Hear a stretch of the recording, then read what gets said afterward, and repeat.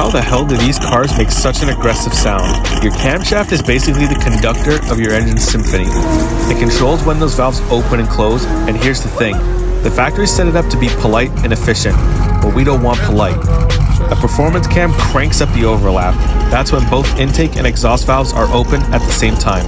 This creates those vacuum fluctuations that give you the iconic lumpy idle that sounds absolutely nasty. The valves stay open longer, cramming more air and fuel in there, and your engine basically starts breathing like an angry dragon. All that extra airflow also means you gain much more power. There are a few catches with this. That aggressive idle means your fuel economy goes right up the window. You might need higher octane gas, and your daily driving comfort, well, let's just say your passengers will definitely know when you fire it up. The choices are endless.